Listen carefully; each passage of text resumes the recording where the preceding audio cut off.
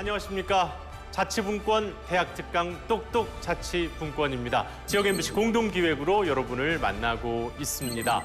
자, 저희가 헌법부터 어, 그리고 지방자치의 재생 도시 거기에 마을 축제까지 이 시간을 통해서 참 다양한 자치분권과 관련한 이야기를 나눠봤습니다. 뭐 외국의 지방 사례는 어떤지 또 우리의 역사 속에서 자치분권은 어땠는지 정말 다양한 이야기들을 나눠봤는데요. 그래서 오늘 말 그대로 이 자치의 최일선에 있는 분들의 이야기를 들어보고자 합니다.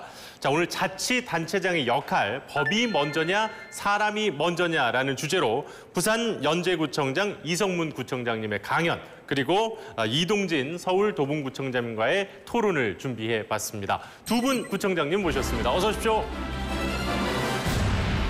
네, 오늘 강연 이런 가정으로 한번 시작을 해볼까 합니다. 주민 대부분이 원하는 주민 민원이 발생을 했는데요. 이게 법에 걸려요.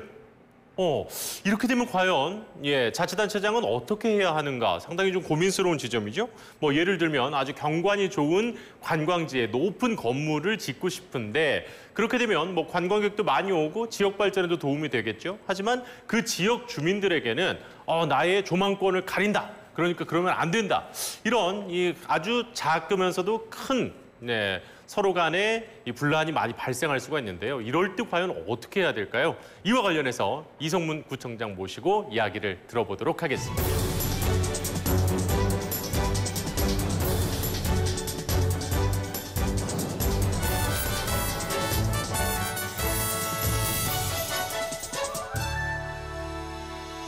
부산광역시 연제구 구청장 이성문입니다. 어, 자치단체장으로서 활동을 하면서 사실은 이 법을 어떻게 어, 운영하고 또 적용할 것이냐에 대한 문제를 굉장히 고민을 좀 많이 하는 상황입니다. 사실은 저뿐만 아니라 어, 전국에 있는 어, 지방정부 어, 시- 시장, 군수, 구청장님들이 다 이렇게 고민을 하실 것 같은데요. 어, 저는 사실 이제 전직이 변호사였습니다. 그러다 보니까 오히려 이제 이런 주제에 좀더 어, 관심이 있었던 게 아닌가 생각이 들고. 그래서 어, 오늘 이제 사실 법이 있기는 있는 상황에서 과연 법을 그대로 어, 적용하는 것이 완전한 것인가 또는 어, 법의 운영에 있어서 어느 정도 좀 융통성을 발휘할 부분이 있는지 없는지에 대한 문제 그리고 나아가서 어, 그 측면에서 단체장으로서는 어떻게 좀 어, 행동을 해야 하는 것이 옳은 것인가에 대한 어, 다소 좀 어, 물론 답이 딱 명확하게 정해져 있지는 않지만 고민이 되는 여러 가지 상황들을 한번 논의를 해보면서 어, 좀 그 고민을 해봤으면 하는 차원에서 오늘 이, 이 주제를 정하게 됐습니다. 예, 그래서 먼저 어, 법이 먼저인가 사람이 먼저인가라는 어, 본격적인 주제를 또 접하기 전에 어, 저희가 법과 관련돼서 일상생활에서 많이 어, 또 접하게 되는 어떤 표현들을 좀 먼저 한번 살펴보고 어, 거기에서 좀 더 논의를 발전시켜 봤으면 합니다. 예, 도대체 이런 법이 어딨나 아, 이런 얘기들을 많이 들으시죠. 어, 어떤 경우에 이런 표현들을 많이 쓰시는지 모르겠습니다. 보통은 어, 굉장히 뭔가 억울한 상황이 생겼을 때 어, 도대체 이런 법이 어딨냐 그렇게 얘기를 합니다. 그래서 어, 이 법을 적용을 하는 경우에 먼저 받아들이는 사람 입장에서는 이게 지금 법이 있다 없다를 먼저 생각을 좀 하게 됩니다. 법률은 사실 굉장히 무수하게 많습니다. 어, 사실은 국회에서 법을 많이 만들긴 합니다만 우리나라의 전체의 저 실제 존재하는 법을 다 아는 경우가 많지는 않습니다. 그래서 법을 모르는 가운데 어, 법이 없는 모르는 상황에서 이런 법이 어딨냐라고 얘기하는 경우도 사실 있습니다만 어, 실제로는 사실은 어, 이런 룰이나 규정 자체가 좀 부당하다라는 차원에서 도대체 이런 법이 어디 있느냐 이런 표현들을 많이 쓰는데요. 근데 그 말에 어, 이면을 사실은 자세히 또 살펴보면 법 자체에 대한 어떤 부당함을 얘기를 하는 경우도 있겠지만 사실은 어, 법을 적용함에 있어서 그 적용하는 사람의 잘못 적용하는 부분에 대한 반감으로서 사실 이런 법이 어딨나라는 표현들을 좀 많이 쓰는 것 같습니다. 여전히 이 법의 적용이 과연 옳으냐 그러냐에 대한 문제로 또 접근해 볼 수 있지 않을까 싶습니다. 예. 두 번째로는 어, 법 없이도 살 사람 얘기합니다. 참 이 표현도 어, 많이 쓰는데요. 법 없이도 살 사람이라는 게 무슨 말일까요? 어, 법이라는 게 사실은 이 세상에 어, 공기처럼 많이 존재하고 있습니다. 그래서 법이 없이 산다는 것은 사실은 현 상황에서는 있을 수가 없는 일이죠. 그렇지만 어, 도- 도대체 이게 법이 없이도 살 사람이 누구냐라고 하는 경우에서는 보통 여기서 말하는 법은 어, 몸을 하지 마세요, 금지하고 이런 어, 법규를 가지고 지금 법을 얘기를 합니다. 그러니까 어떤 사람에 대해서 어, 저 사람은 이렇게 하지 말라는 법 그- 같은 게 있어도 그 법이 없더라도 충분히 어, 세상에 문제가 되지 않게 도덕적으로 살 수 있는 어, 그런 사람을 두고 이렇게 얘기를 하죠. 여기서 말하는 법은 주로 어, 형법이나 그런 부분이 예, 법 없이도 살 사람의 법에 좀 해당되는 게 아닌가 생각됩니다. 예, 그리고 이 표현도 참 많이 쓰죠. 법대로 해라, 예, 라고 하는데 어, 법이라는 것이 글쎄요 나쁜 걸까요? 필요해서 존재하는 것이고 또 어, 제정이 되은 것인데 그러면 세상에 여러 가지 어, 상충되는 그런 어, 이해관계를 어, 중재하고 또 조정을 하는 기준을 마련하는 것이 법이라고 한다면 그 법은 사실은 그렇게 나쁜 것은 아닐 것 같은데 어, 이 법대로 해라는 표현이 어, 좋게 좋게 합시다라고 얘기를 하는 것이 아니라 꼭 어, 가령 교통사고가 났을 때 서로 시비를 어, 걸고 할 때 법대로 해라 이렇게 얘기들을 많이 합니다. 법은 참 좋은 것인데 이게 왜 어, 우리나라 사회에서는 이렇게 좀 이렇게 부정적인 의미로 어, 쓰이는 것인지 참 아이러니하다고 저는 생각을 합니다. 근데 이제 그 말의 이면을 어, 가만히 생각해 보면 어, 이런 거였겠죠. 나는 잘못하지 않았는데 실제로 법을 적용해 보면 너한테 불리할 것이니까 어, 법대로 하면 나는 문제가 없을 것이다라고 하는데 이 또한 과연 그렇게 말을 하는 사람이 어, 법에 대해서 제대로 좀 알고 있는 것이냐에 대해서는 또 의문이 있겠죠. 물론 제대로 알고 얘기한다면 모르겠지만 어, 법에 대해서 사실은 자세히 잘 모르다. 워낙 또 법이 많다 보니까 잘 모르는 가운데 어, 이런 얘기들을 한다면 사실은 나중에 어, 또 곤욕을 더 치를 수도 있겠죠. 그리고 이 법대로 해라라는 표현들을 많이 이제 쓰는 경우들을 보면 결국은 좀 이 법보다 주먹이 가깝다. 이게 참 굉장히 참 문제가 있는 말이긴 합니다. 어, 법을 적용해서 법을 그대로 어, 그 절차에 따라서 진행을 한다면 어, 여러 가지 분쟁이나 상충이 되는 사안들이 좀 해소가 될 수 있을 텐데 그렇게 하기까지는 사실은 너무 어, 시간도 많이 걸리고 또 그 절차가 복잡을 복잡하다 보니까 결국은 그렇게 하기까지 힘드니까 법대로 해라 하면 현재 그때까지 가지를 않고 어, 그냥 법과 무관하게 어, 이 분쟁이나 사안들을 다른 방법으로 해소를 한다. 이런 차원에서 법대로 해라 이런 표현들을 좀 많이 쓰는 것 같아요. 그래서 이것도 어, 우리나라의 좀 특유한 상황이 아닌가 이렇게 생각이 드는데요. 어, 과연 법대로 해라는 말이 좀 어, 정확하게 긍정적으로 좀 통용이 될 수 있는 그런 어, 또 시- 사회가 되기를 좀 바라보기도 합니다. 보통은 이 법치주의라는 말은 굉장히 어, 긍정적으로 쓰이는 표현이라고 생각합니다. 법치주의에 대해서 어, 이게 잘못된 표현이고 문제가 많은 표현이다라고 생각하는 분들은 많지는 않은 것 같습니다. 어, 이 만인이 법 앞에 평등한 국가만이 또 안정된 사회다라고 얘기들을 하고 있는데요. 이게 아리스토텔레스가 이렇게 한 말이라고 합니다. 그래서 법치주의라는 것이 바로 이 점을 어, 정확히 어, 표현하는 표현, 말이 아닌가 싶은데요. 과연 이제 우리나라 어, 사회에서 과연 이런 법치주의가 지금 제대로 이제 구현이 되고 있는지 아닌지에 대해서는 다시 한번 좀 생각해 볼 어, 필요가 있는 게 아닌가라고 생각을 합니다. 통상 법치주의를 얘기하면서 어, 법치와 또 대비되는 좀 부정적인 어, 측면으로 인치라고 얘기합니다. 법에 의한 지배가 아니라 어, 사람에 의한 지배. 예, 그 부분은 굉장히 비도덕적이고 또 어, 정해진 기준이 아닌 어, 사람의 어떤 정서와 인정에 따라서 왔다 갔다 하는 식의 법의 적용에 대해서 인치라는 표현으로 굉장히 부정적으로 많이 이렇게 보고 있는데요. 예, 이 그림은 어, 헤라르트 다비드라는 그 네덜란드 작가가 어, 이렇게 그린 그림인데요. 캄비세스 왕의 심판이라고 이렇게 합니다. 이 캄비세스 왕은 페르시아 때 어, 있었던 왕인데 굉장히 좀 성정이 잔악한 왕이었다고 합니다. 근데 이 캄비세스 왕의 심판에 관한 일화는 그 헤로도토스의 역사에 나와 있는 내용을 이 다비드가 좀 차용을 해서 이렇게 그림을 그렸습니다. 총 두 폭으로 되어 있는 부분인데요. 어, 왼쪽에 있는 그 그림을 보면 그 법대의 의자에 앉아 있는 사람이 이제 그 시, 시삼레스 판사입니다. 이 사람이 지금 체포를 당하고 있는 그런 장면인데 어떤 장면으로 보이십니까? 저 시산네스 판관이 어, 어떤 누구로부터 이렇게 좀 부정 청탁을 받고 있는 그런 장면이다. 그래서 그 내용 부정 청탁을 받고 어, 재판을 했고 그래서 그 재판에 대해서 이 캄비세스 왕이 굉장히 대노를 해서 지금 어, 시산데스 판관을 체포를 해서 지금 이제 벌을 주려고 하는 장면입니다. 그 오른, 오른 편에 이제 그림을 보시면요. 어, 누워 있는 사람이 바로 시삼네스 판관입니다. 그래서 뇌물을 받고 재판을 부당하게 했기 때문에 그에 대한 어, 처벌을 지금 하고 있는데 굉장히 잔악한 어, 형벌을 가하고 있죠. 살아있는 채로 묶어서 어, 살갗을 벗기는 그런 장면입니다. 어, 얼굴의 표정도 굉장히 어, 고통스러운 장면들이 있는데요.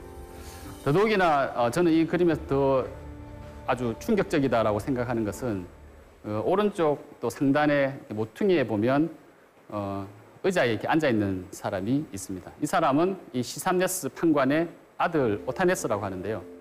그 아들도 이제 판관인데 더더욱이나 이제 충격적인 것은 의자에 이렇게 덮여져 있는 어, 어떤 보자기 같은 것이 사실은 이 시삼네스의 살갗을 벗겨낸 피부를 가죽을 어, 덮어놓고 거기에 이제 아들을 앉혀놓고 어, 재판을 할 때 항상 그러한 사실을 상기를 하라 이렇게 하는 내용들입니다. 굉장히 이제 잔인한 내용인데 이 그림들을 보고 어, 재판을 하는 판관이라고 한다면 과연 어떤 재판을 할까요? 절대 어, 어떤 개인의 사적인 감정에 얽매여서 재판을 하지는 않겠죠. 다음은 어, 이게 자크루이 다비드의 소크라테스의 죽음이라는 어, 작품입니다. 아마 많이 아시고 또 굉장히 유명한 작품입니다. 어, 악법도 법이다라는 표현이 요즘은 사실은 그렇게 많이 어, 회자되지는 않지만 여전히 악법도 법이다라는 말이 또 작용을 하는 측면도 있습니다. 근데 어, 소크라테스가 이렇게 죽을 때 독배를 받아들고 악법도 법이다라고 하면서 독배를 마셨다라고 보통은 알고 있는데 사실은 소크라테스는 그런 말을 한 사실이 없다고 합니다. 예. 근데 그 말이 사실은 어, 일본의 오다카 도모라는 어, 실정법주의 법 철학자가 자기가 쓴 책에 이 악법도 법이다라고 해서 좀 지켜져야 된다라고 얘기를 하는데 이 내용은 어, 사실은 어, 식민주의 때 어떤 제국 주의의 치- 법 치하를 어, 통치를 좀 정당하게 하는 차원에서 많이 좀 사용이 되었다고 하는데요. 어, 그 오다카 도모의 논리는 그겁니다. 나쁜 사람이 좋은 법을 지키도록 하는 것이 하려면 어, 좋은 사람이 나쁜 법 또한 어, 지키도록 해야만 된다. 이런 이제 논리를 가지고 어, 악법도 법이다라고 하는데 사실은 소크라테스는 어, 이렇게 그 재판을 받아서 사형을 온도받고 나서 어, 이렇게 잘못된 법에 대해서 사실은 옆에서 법을 어, 형을 감경해 줄 테니까 당신의 잘못을 인정을 하라.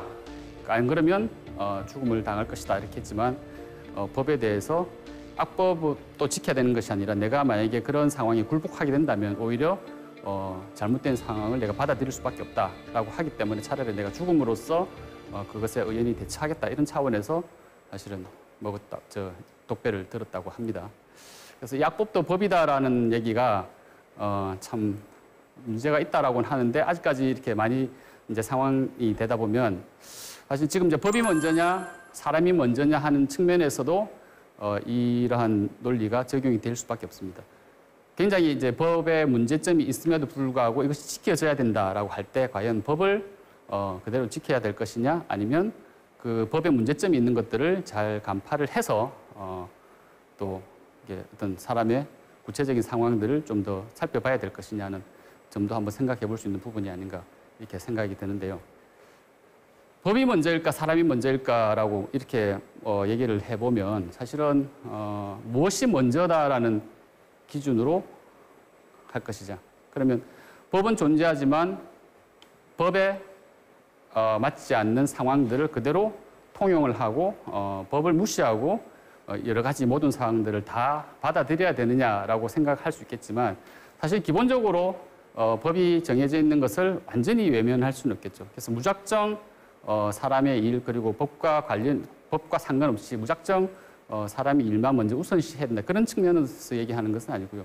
기본적으로 어, 정해져 있는 법을 사실은 어느 정도 지킬 수 있는 점이라는 것을 원칙론으로 두고 어, 그렇게 하는 과연 법이 과연 옳- 옳은지 아닌지 실제 법에 적용을 함에 있어서 또 어, 어떻게 해야 될 것인지를 좀 고민하는 차원에서 사실은 법이 먼저냐 사람이 먼저냐 이렇게 논의를 해볼 수 있지 않을까 싶습니다.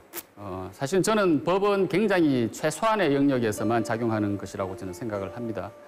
어, 우리 사회가 이렇게 온전하게 유지가 되는 것은 사실은 법 이외에 여러 가지 많은 부분들인데 저는 그 중에 대표적으로는 사실은 양심이라는 것으로 얘기를 할 수 있지 않을까 싶습니다. 어, 헌법 1조는 많은 국민들께서 또 알고 계십니다. 그렇지만 이제 민법의 1조에 대해서는 사실은 잘 모르시는데 저는 이 민법 1조도 굉장히 어, 우리한테 시사하는 바가 좀 크다고 생각을 합니다. 그래서 민법 1조에 보면 이제 법의 원천이라고 해서 법원이라고 나와 있어서 이런 표현이 있습니다. 민사에 관해서는 어, 법률의 규정이 없으면 관습법에 의하고 또 관습법이 없으면 조리에 의한다 이런 얘기가 있습니다. 그래서 이 내용이 아까 제가 말씀드린 어, 법률이라는 것이 규정하는 영역이 사실은 굉장히 전부가 아니라 어, 최소한의 영역에서 작용하는 것이다라는 부분을 또 의미할 수 있습니다.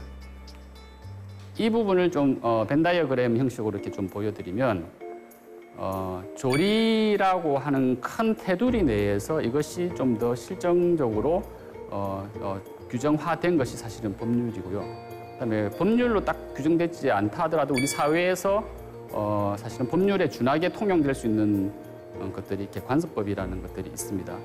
어, 조리라는 것이 어, 물론 사전적 정의로 보면 사물의 본질적인 원리, 원칙 이렇게 얘기를 하는데 뭐 쉽게 생각하시면 사회 통념 또는 경험칙 어, 또 쉽게 그냥 제일 시- 간단하고 쉬운 말로 상식입니다. 그래서 그런 상식이라는 것이 있어서 법률이 뭐 복잡다기한 이 세상을 모든 것을 다 어, 관, 저기 관할하고 규율할 수 없는 상황에서 법률이 규율하지 않는 나머지 부분들은 결국은 이 조리라는 것, 사회의 양심 그리고 사회 통념으로서 어, 또 규율되는 것이 아닌가 생각해서 그 민법 1조가 그런 이념을 어, 표현한 것이라고 저는 생각을 합니다. 예.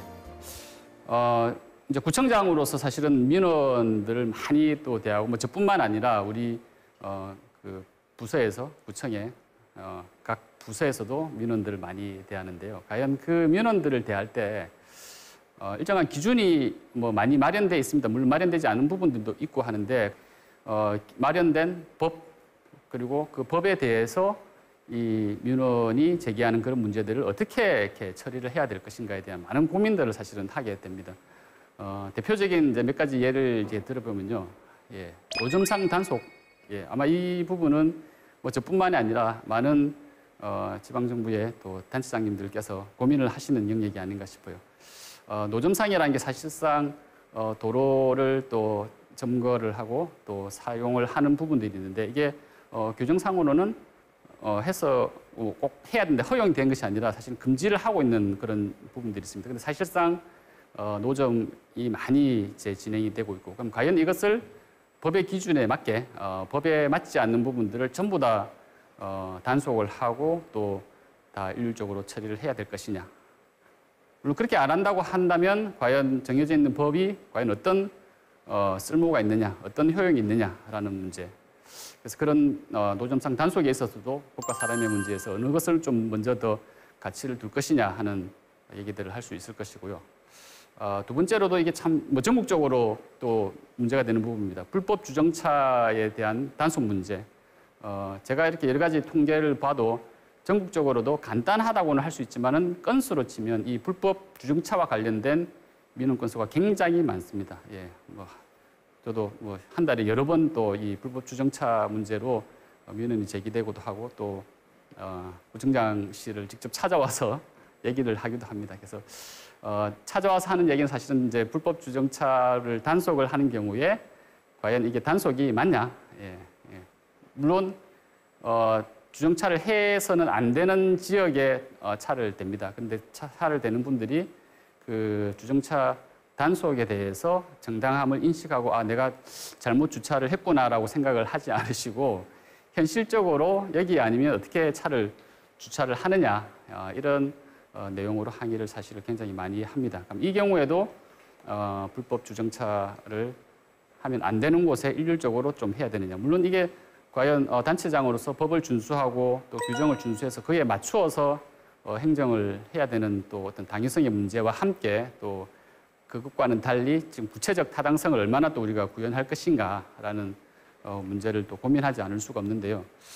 어, 뭐 최근 들어 또 뭐 경기가 많이 힘들어져서 대표적으로 뭐 전통시장의 경우에 어, 점심시간 때또 어, 단속을 어느 정도 조금 유연하게 한다든지 어, 그런 식으로 또 가고 있는데 물론 그것에 대해서도 또 다른 한편으로는 어, 주정차 불법 주정차되어 있는 부분들을 강하게 단속을 해야지 그것을 또 유예를 하고 단속을 안 한다는 것 자체가 어, 제대로 법을 지키고 하는 것이 맞느냐라는 또 비판론도 분명히 있습니다. 그래서 이 점도 어, 과연 법 정해져 있는 법에 그대로 어, 기계적으로 적용을 해야 할 것이냐 아니면 조금 어, 나름대로 어떤 융통성을 발휘할 수 있는 부분이냐 하는 어, 문제가 또 될 수 있는 한 측면이기도 합니다. 그리고 또 세 번째는 어, 이행강제금도 아실 겁니다. 어떤 건축법상에 따라서 제대로 어, 건축이 돼야 되는데 어, 건축법에 맞지 않게 어, 예, 건축이 돼 있는 경우에 이것을 어떻게 해결을 해야 될 것이냐라는 문제를 가지고 또 많은 논란이 됩니다. 물론 이행강제금 부과받아서 이 부분에 대해서 억울하다라고 어, 또 주장하시는 분들은 어, 지내는데 그렇게 문제가 되지 않고 어, 주변 사람들한테 그렇게 피해를 주지 않는데 이걸 왜 어, 강제금을 부과해서 어, 이렇게 좀 힘들게 하느냐라는 주장을 하는데요. 물론 건축법이라는 게 정해져 있는 것이 어떤 건축으로 인한 어, 발생할 수 있는 위험을 어, 방지하고 그렇게 하게 안, 하지 않도록 하기 위해서 이렇게 법이 만들어진 것이어서 사실 그대로 가야 되는 부분인데 실질적으로 이 이행강제금 제도라는 것 자체도 어, 과연 이게 법대로 적용을 하는 상황에서 그것을 받아들이지 않는 어, 민원 주민들과의 관계에서 어떻게 이걸 유지를 해야 될 것이냐 는 그런 문제가 있고요. 그래서 참 복잡한 문제입니다. 저도 뭐 사실 당장에 분명하게 어떻게 해야 된다라는 아주 어, 이리적인 어, 기준을 가지고 어, 이거를 뭐 다 해결할 수는 없는 부분인데요. 어, 저는 나름대로 생각하는 것은 혹시 이제 물론 잘못된 것들을 그대로 어, 방치를 하거나 어, 그대로 둘 수는 없겠죠. 하지만 한편으로는 이런 어, 불법적인 상황들을 합법으로 할 수 있는 방법이 무엇일까 이렇게 모색해 볼 수도 있지 않을까 생각이 듭니다. 아까 말씀드린 이행 강제금의 경우에는 어, 불법 건축물 같은 경우에도 가끔씩 이렇게 그 양성화를 하는 식으로 법적으로 어, 합법화하는 그런 또 장치를 모색하는 경우도 있습니다. 그래서 줄- 결국은 어, 불법과 합법의 어떤 줄타기라는 측면으로 볼 수도 있는데 어, 균형적인 좀 감각을 발휘해서 좀 그 이렇게 상황을 좀 살펴봐야 되지 않을까 싶은데요. 물론 제가 이렇게 말씀드리는 것이 어, 결국은 법을 무시하고 그냥 아까 제가 부정적이다라고 말씀드린 사람에 의한 어, 인치를 하는 것을 합법화하는 것이 아니냐 이렇게 또 말씀을 하실 수도 있겠지만 저는 어, 그렇지는 않고요. 종국적으로는 사실은 정해져 있는 법이 어, 일단은 지켜져야 된다는 것이 맞다고는 합니다만 그렇게 정해져 있는 기준 원칙들이 과연 어, 합당한 것인가에 대해서는 어, 어, 한 번쯤은 짚어보면서 어, 행정을 또 하, 해야 되는 것이 아니냐 그런 차원에서 여러 가지 좀 균형 감각을 통해서 이런 문제들을 좀 어, 해소를 해야 되지 않느냐라는 생각을 가지고 있습니다. 예. 저는 어, 법이 먼저인가 사람이 먼저인가라는 어, 부분에 대한 답을 굳이 내린다고 한다면 저는 이렇게 말씀을 드리고 싶어요. 법은 어, 사람을 위해서 존재한다. 어, 법이 그 자체로서 존재하는 것이 아니라 결국은 어, 사람과의 관계에서 어, 이 법이 존재하는 것이니까 법은 사람을 위해 존재한다 이렇게 생각을 합니다. 어, 이 논리에서 조금 더 나아가서 이제 얘기를 해보자면 과연 어, 지방자치에 있어서 어, 단체장의 역할이 어떨 것인가? 사람을 위해서 법이 또 존재하는 것처럼 어, 이 지방 정부도 과연 그 지방 정부 자체의 존재 가치가 아니라 결국은 이 지방 정부가 존재하는 이유가 어, 주민을 위해서 어, 존재한다 이렇게 볼 수가 있겠는데요. 이제 그런 측면에서 지금 저희가 얘기하는 자치와 또 분권에 대한 어, 얘기들을 모색해 볼 수가 있겠죠. 뭐 제가 얘기했던 어, 법은 사람을 위해서 존재한다라는 그런 논리가 어, 지방자치단체에서의 단체장의 역할 쪽으로 좀 더 옮겨와서 말씀을 드려보자면 결국은 어, 지방정부가 중앙정부에 대해서 어, 분권과 또 자치에 대한 어, 또 얘기를 많이 하고 있는 상황에서 사실은 지방정부 또한 그 지방정부 자체만으로 존재하는 것이 아니라 이 결국은 이 지방 정부도 주민을 위해서 존재하는 어, 그 지방 정부가 돼야 된다라는 생각으로 볼 수 있겠죠. 제도 그 자체의 문제가 아니라 제도가 정말 실효성 있게 움직여서 주민들한테 직접적으로 어떤 복리가 증진될 수 있는 어, 그런 식으로 지금 자치와 분권이 이루어져야 된다 생각하는데요. 중앙 정부에서 지방 정부로서의 어떤 권한 이양이라든지 어, 어, 저 분권이 되는 것뿐만이 아니라 저는 여기에서 더 나아가서 어, 지방 정부가 가지고 있는 어떤 권한 또한 주민에게로 또 넘어가서 주민들이 직접 어, 자신들의 문제, 지- 지역의 문제를 어, 해결하고자 하는 의지를 보이고 주민들을 위해서 현안 문제가 해결될 수 있는 주민자치까지로 넘어가야 된다고 생각을 합니다.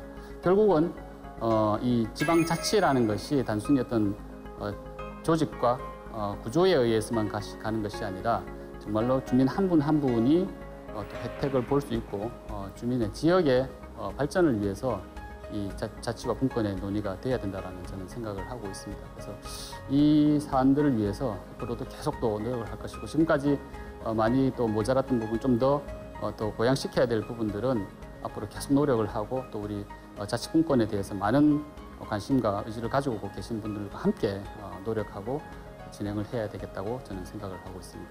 예, 오늘 강의 여기까지 마치겠습니다. 고맙습니다.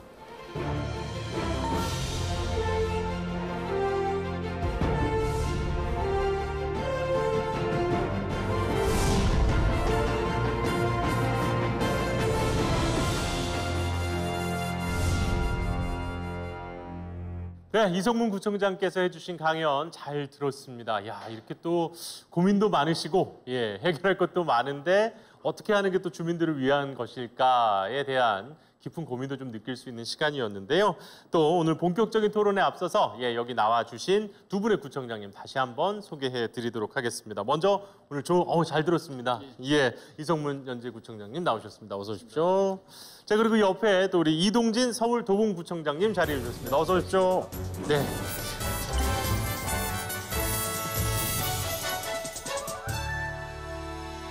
어떻게 해서 또 이쪽에 좀 더 많은 관심을 갖게 되셨는지도 궁금해요. 자치분권 대학에 또 지금 본격적으로 또 이 일을 돕고 계시고 어, 어떻게 해서 이런 관심을 좀 많이 갖게 되셨나요? 이제 자치 분권이라고 하는 그 영역에서 우리 활동을 하고 있는데 사실은 이것이 개별 지역에서의 활동만 가지고는 아, 충분하게 에, 이루어질 수가 없습니다. 그래서 서로 협력하고 연대하고 또 중앙 정부에 요구할 거는 함께 요구를 하고 또 각자의 이 그 지역에서 활동하고 있는 경험을 공유하고 이런 것들이 매우 중요하거든요. 그래서 어, 지방 정부가 다양한 영역에서 어, 지방 정부 협의회를 만들어서 활동을 하고 있는데 이제 자치분권 어, 지방 정부 협의회라고 하는 거를 만들어서 우리 같이 하고 있고요. 예. 제가 회장을 맡고 있고 예. 우리 이성문 청장님께서 감사를 맡고 계십니다. 아, 야. 근데 확실히 그러니까 각 기초단체들끼리 이야기를 하는 거랑 함께 얘기를 해서 중앙정부에 또 얘기를 하는 거랑 좀 차이가 많이 날 것 같은데요. 예, 아무래도 뭐 서로 이제 보고 배우는 게 있고 사실상 사실 저는 이 협의회 활동을 통해서 예. 어, 많은 것을 또 배우고 있습니다. 저는 이제 사실은 이제 자치 분권에 대한 어떤 중앙 정부와의 관계 이제 측면에서 아까 우리 이동진 청장님 좀 말씀을 해주셨는데 저는 사실 이제 주민자치 쪽에 조금 더 말씀을 드리자면 어, 결국은 어, 저도 그렇고 사실 이 조직이 제도가 나름대로의 존재의 의의가 있다고는 합니다만 사실은 완벽하지는 않다고 생각합니다. 네. 예, 그래서 결국 이 불완전하다라는 측면에서 좀 생각을 해보자면 모든 것을 다 어, 한정된 어, 영역과 한정된 기관에서만 일을 다 처리할 수 있을 것인가 그렇다면 이것을 어, 좀더 이렇게 그 이 업무 영역을 확대를 하고 어, 어떤 일의 현안 문제를 해결함에 있어서도 어, 지방 정부에서 어떤 구청에서의 일뿐만이 아니라 주민들한테도 서로 좀 권한을 나누고 스스로 각자 좀 해결해 볼 수 있는 그렇게 어, 간다면 훨씬 더 효율적으로 또 문제 해결에 어, 좋은 점이 있지 않을까라는 생각에서 저는 자치에 굉장히 좀 관심이 많다고 생각합니다. 네. 사실 그 주민자치센터에서의 활동이라든지 뭐 이런 것들이 점점 생겨나고는 있습니다만 아직까지는 조금 미흡해 보이는 것도 사실입니다. 아 그렇지만 또 우리 이동진 구청장님께서는 벌써 이제 10년 가까이 바로 주민들과 또 행정을 해 오셨기 때문에 예전에 처음 구청장이 되셨을 때와 이제 한 삼선 정도 하셨으니까 이제 10여 년 정도 지난 지금과 그래도 조금 나아진 게 있다면 어떤 부분들이 좀 있을까요? 어, 상당한 정도 변화가 있다고 생각합니다. 네. 그러니까 이 지방자치라고 하는 거를 일반 우리 시민들이 생각할 때이 중앙정부가 어, 맡긴 일을 대행하는 기관 정도로 어, 그동안 예. 생각해왔던 게 네, 사실인 네, 것 네. 같아요. 어, 그런데 이제 우리 사회가 빠른 속도로 변화되고 있지 않습니까? 또 다양성이 상당히 높아진 사회예요. 그래서 어, 중앙정부는 큰 정책을 결정하는 것이고 지방정부는 그런 다양화된 사회에 즉각 즉각 대응할 수 있는 역량과 권한이 있어야 되는 거죠. 네. 그렇지 않다 그러면 중앙정부의 정책만 집행하게 된다면 어떻게 보면 우리 사회가 동맥경화에 걸릴 수 있다 이렇게 생각합니다. 네. 그래서 실핏줄이 잘 돌아야 우리 이 몸도 건강하잖아요. 예, 예. 그래서 어, 이 지방 정부가 하는 역할이라고 하는 것은 그런 이 동맥에서 공급해주는 실핏줄을 잘 돌게 하는 역할. 이렇게 하려면 이 권한과 또 책임도 있어야 되지만 어, 권한 이런 것들이 강화될 필요가 있고 그래야만 우리 사회의 다양성에 이 부응할 수 있는 게 아닌가 이렇게 생각을 합니다. 이제 그런 노력들을 어, 올해가 이제 지방 어, 자치가 부활된 지 30년이 됐습니다만 어, 그 대개 따져보면 한 10여 년 전부터 그런 어, 적극적 활동이라고 그럴까 네. 아, 자치 이 분권에 관한 어, 적극적 활동들을 모색하고 서로 연대하고 해왔던 시기가 한 10여 년 정도 되는데 에, 그 시기에 상당한 정도의 이 변화가 있었다고 생각하고 그런 노력의 결과가 작년에 에, 국회에서 통과된 어, 지방자치법 전부 개정안이 아닐까 이렇게 생각합니다. 작년 연말에 또 통과가 됐습니다. 예. 아, 그런데 지금 이제 권한에 대해서 말씀을 해 주시니까 문득 드는 생각이 이 어쨌든 기초단체 그리고 이제 지방 정부가 본인들이 이제 하고 싶은 우리 주민들을 위해서 이 지역 특화적인 사업이든 뭐든 좀 하시려면 결국은 필요합니다. 재원이 필요합니다. 재원이. 그런데 지금 권한만큼의 재원이 과연 지금 우리 지방자치단체에 지방정부에 주어지고 있는가? 이 재원에 대한 이야기에 이 두 분 구청장님의 생각도 좀 듣고 싶네요. 뭐 제가 먼저 말씀드릴까요? 먼저 예, 예. 하시죠. 어, 뭐 전국적으로도 사실은 자치분권이라고 얘기가 나오는 것이 결국은 이제 균형 발전을 위한 음, 차원에서 이 얘기가 나오는데 네.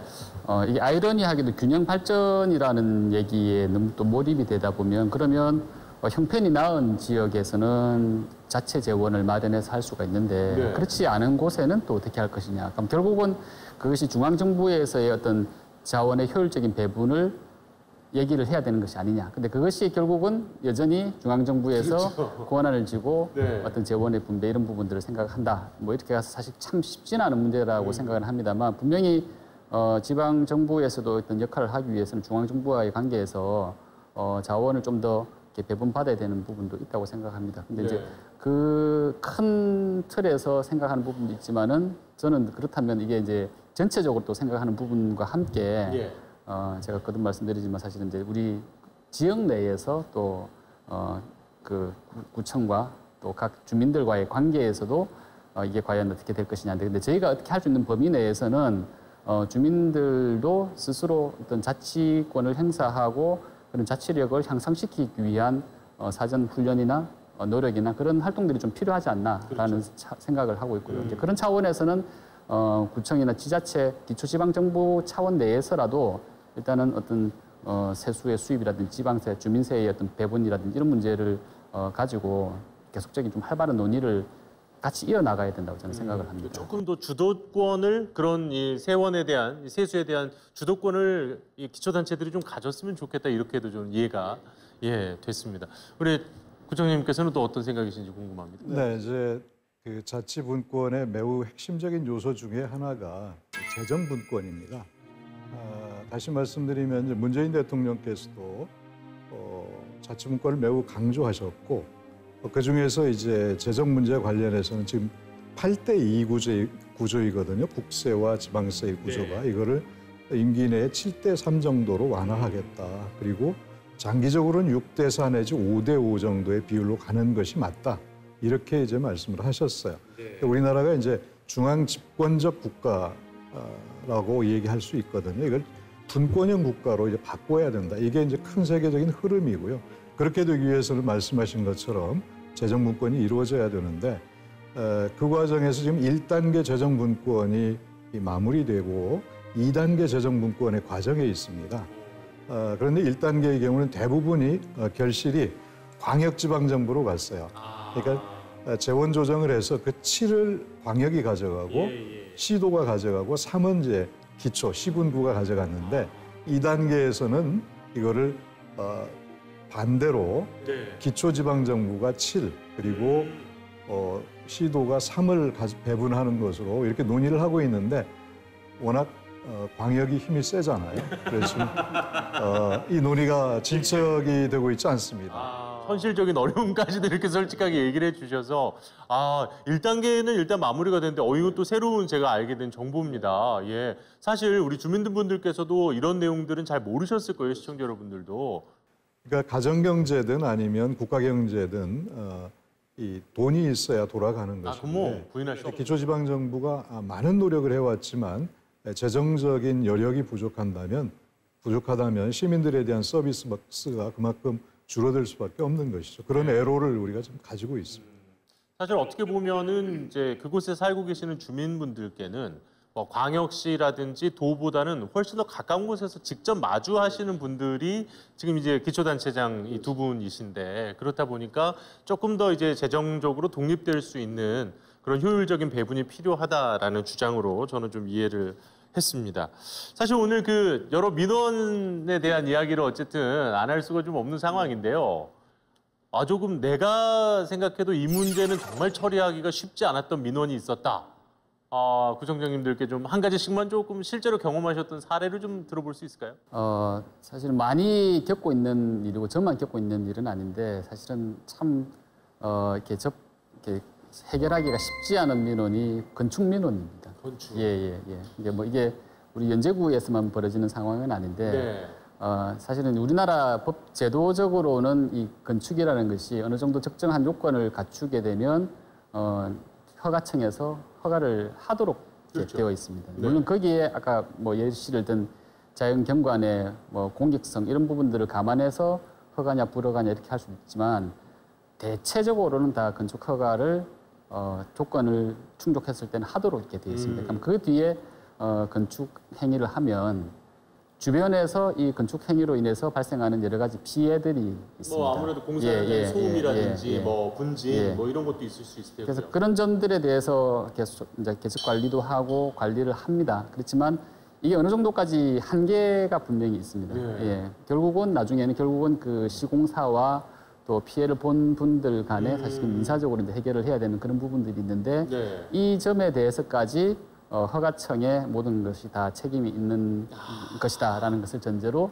이제 해결을 좀 요구를 하고 있는데 어, 허가청인 지자체 지방정부에서 뭐 시공사한테 이렇게 하십시오 저렇게 하십시오로 할 수 있는 권한까지 부여가 된다면 어. 좋겠지만 그러한 권한까지는 부여되어 있지 않는 가운데 그렇군요. 해결을 해야 되니까 어, 주민은 주민대로 또 힘들어서 구청을 와서 네. 또 어떤 중재라든지 여러 가지 호소를 하고 구청은 구청대로 할 수 있는 범위는 한정돼 있다 보니까 어, 충분히 효과적인 어떤 세상에. 또 관리가 안 되는 상황이 오. 있고 그래서 그런 상황으로 굉장히 민원들이 많습니다. 아니 저도 이제 지역 주민으로서 야 이런 부분 이런 애환이 있으실 거라는 생각은 미처 못했어요.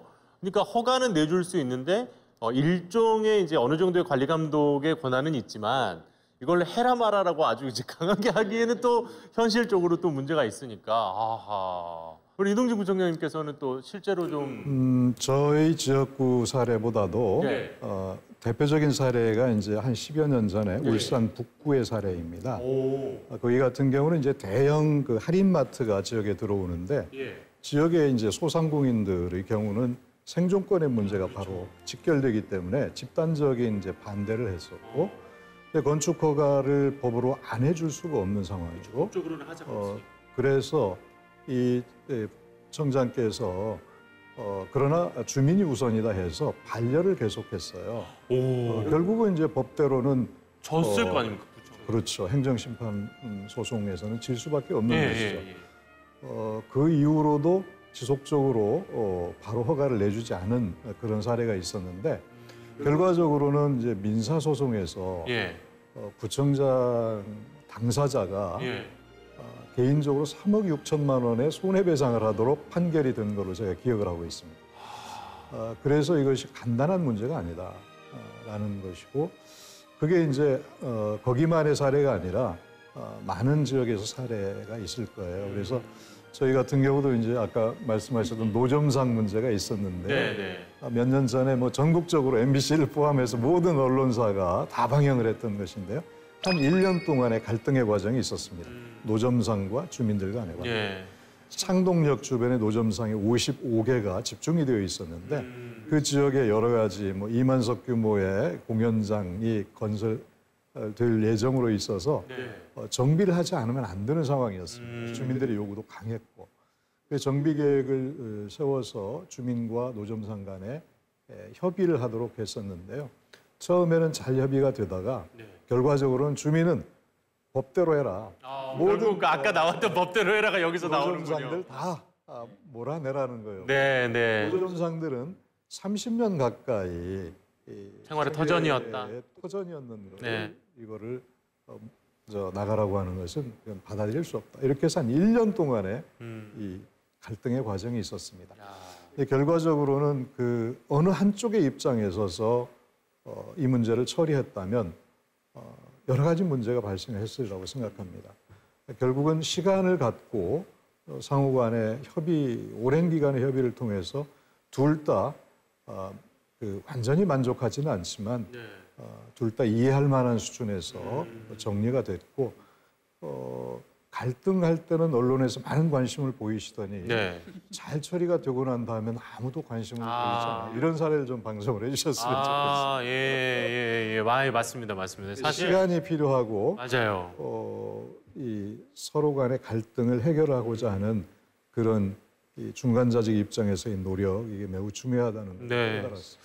갈등 상황이라든지 서로 이제 목소리 높아지는 거는 다들 취재하러 오면서 어렵사리 원만한 합의가 된 내용은 대단히 좀 작게 나가는 그런 부분들도 우리 언론사들도 좀 더 관심을 기울여 줬으면 좋겠다는 생각이 분명히 듭니다. 예. 그러니까 좀 말씀해 주신 대로 아까 이제 처음에 그 이성문 구청장께서도 말씀을 하셨던 게이 지방자치가 되려면 주민들도 어, 좀 준비가 돼 있었으면 좋겠다. 그러니까 바꿔 말씀하신 건 아마 지역 현안에 관심을 좀 가져주시고 그리고 뭐 문제 제기도 적극적으로 해주시고 문제 해결에도 또 힘을 좀 실어주시고 이런 부분들이 사실 필요한 거 아니겠습니까? 저는 아까 이제 협의를 말씀을 하셨는데 어, 제가 이런 얘기도 많이 듣습니다. 그냥 사실 해결, 해결이 안 되는 문제도 어, 구청장실에 와서 얘기하는 것으로도 어느 정도 좀 어, 충족감을 가지고 간다. 물론 그게 다 결론을 짓기 위한 짓는 데까지 가지는 않습니다만 어, 어떻게 좀 듣고 또 같이 자리를 하느냐 하는 것이 실제 문제를 해결을 딱 하지는 못하더라도 많은 부분을 좀 원, 원활하게 어, 부드럽게 해소해 줄 수 있는 부분이라 생각하고요. 물론 소통이 되기 위해서는 신뢰가 필요한 부분이겠죠. 아까 이제 혐오시설 얘기를 사실 하셨는데 어, 결국은 이게 물론 우리나라 그 국민분들이 좀 사실 신속하고 빠른 거를 잘 좋아하지 않습니까? 뭐, 근데 그렇죠. 물론 그렇다고 해서 빨리빨리는 안 되겠죠. 물론 저 소통하고 계속적으로 협의를 하고 해야 되는 과정이라면 시간이 좀 걸리겠는데 특히나 행정의 영역에 대해서 어, 좀 늦다. 대, 체로또 일을 못해서 이렇게 막 지체된다 이렇게 이제 얘기를 하시는데 네. 그 또한 어떻게 보면 어, 주민분들한테 국민들한테 또 신뢰감을 심어줄 수 있도록 계속적으로 소통을 하고 물론 한 번한 번의 어떤 그 소통 기회가 당장에 당장에 결론을 내리지는 못하더라도 그런 과정이 무의미한 것이 아니라 어, 앞으로 큰 문제를 해결하기 위해서는 굉장히 중요한 윤활유 같은 역할을 한다고 저는 생각합니다. 네. 어, 끝으로 우리 두 분의 좀 주민분들을 향한 예, 더 많은 관심 내지는 또 우리 시청자 여러분들을 향해서 전하고 싶은 메시지 있으시면 예, 좀 청해 보도록 하겠습니다. 어, 사실 이제 저희 연제구가 어, 주민자치위원회에서 주민자치에 전환 어, 사업을 하고 있습니다. 이미 또 훨씬 더 앞서 나간 어, 또 지방 정부도 있습니다만 우리 연제구 입장에서는 사실은 이 부분이 굉장히 좀 이제 시작 단계고 중요시하게 생각하는 부분이고 저는 사실 이 점에 굉장히 큰 의지를 가지고 있습니다. 어, 아까도 거듭 말씀드리지만은 이러한 어, 전환과 좀 실질적인 그 주민자치회가 활성화되기 위해서는 어, 서로 신뢰가 필요하다고 봅니다. 저는 우리 주민들을 신뢰합니다. 혹시나 이것을 어, 권한을 나누고 또 예산을 나누는 것 자체가 혹시 더 혼란을 가져오지 않을까라는 생각이 아니라 어, 저는 충분히 우리 어, 연제구 주민들이 잘 하실 수 있다고 생각을 하고요. 어, 뭐 저도 사실 우리 주민분들 신뢰를 하고 우리 주민분들도 저를 믿어주셔서 같이 어, 신뢰와 소통을 계속 쌓아가서 어, 한번 지금까지 했던 것보다 훨씬 더 잘 될 수 있도록 좀 같이 노력했으면 좋겠다 음, 말씀을 드립니다. 네. 자 그리고 또 우리 그 이동진 구청장님께서는 벌써 이제 2019년에 한번 우리 그 자치분권대학 특강이 있었고 또 2년 만에 말씀해주신 아, 지방자치 30주년을 맞아서 올해 또 이런 프로그램을 준비를 해 주셨는데 어느덧 이제 서서히 마무리가 되어가고 있는 시간입니다. 아, 어떻게 해서 또 이런 프로그램을 준비하게 되셨는지도 총장님이시니까 궁금하기도 하고 예 우리 시청자 여러분들께 인사 좀 부탁드리겠습니다. 지방자치를 우리가 교과서에서 배울 때 풀뿌리 민주주의라고 이렇게 배웠잖아요. 왜 풀뿌리 민주주의일까? 어, 민주주의가 여의도에만 있는 것이 아니라 마을에 있는 것이 우리 바로 옆에 있는 것이 진정한 민주주의인 것이거든요. 어, 지방자치의 본질은 어, 저는 주민 자체에 있다고 생각합니다. 아까 이성문 청장님께서 말씀하셨다시피 시간이 많이 걸리더라도 주민들이 스스로가 아, 마을의 이 문제들을 결정하고 참여하는 이런 과정들을 끊임없이 이 반복하고 노력을 해야 된다고 생각을 해요. 어, 그런 측면에서 마을의 민주주의를 만드는 것 이것이 지방자치의 매우 본질적인 요소다. 그래서 자치와 분권을 강화하는 것은 아래로부터의 민주주의를 강화하는 것이고 마을의 민주주의를 강화하는 것이다. 이렇게 생각합니다. 저희가 자치분권대학을 만들어서 운영하는 이유도 많은 시민들께서 지방자치에 대해서 이해해 주시고 또 어, 주민자치에 참여해 주실 것을 권유하는 그런 의미도 있다고 생각합니다. 오, 상당히 긴 시간 동안 두 분의 얘기를 들으니까 정말 저도 당장 어, 우리 동네에서 무슨 일이 좀 지금 일어나고 있나 그리고 어떤 것들을 조금 개선하면 같이 이 우리 동네에 사는 주민들이 더 좋아질까 예, 이런 것들을 좀 고민하는 어, 그런 시민이 돼야겠다는 생각 들었습니다. 오늘 두 분이 긴 시간, 예, 귀한 시간 내주셔서 정말 고맙습니다. 앞으로도 더 활발한 예, 두 분의 이 자치 활동 기대하겠습니다. 고맙습니다.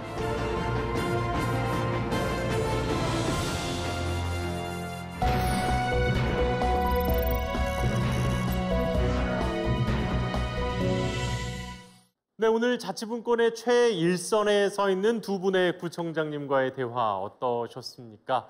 아, 자치분권이라는 게 이런 거구나. 그리고 또 이 주민들과의 갈등은 또 이런 식으로 풀어나가면 되겠구나. 어느 정도 좀 그림이 그려지시지 않았나요?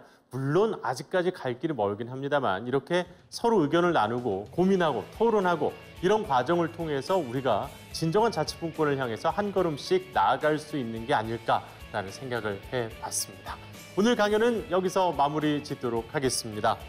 지역 MBC 공동기획 자치분권 대학 특강 똑똑 자치분권입니다. 저희는 다음 이 시간에 인사드리겠습니다.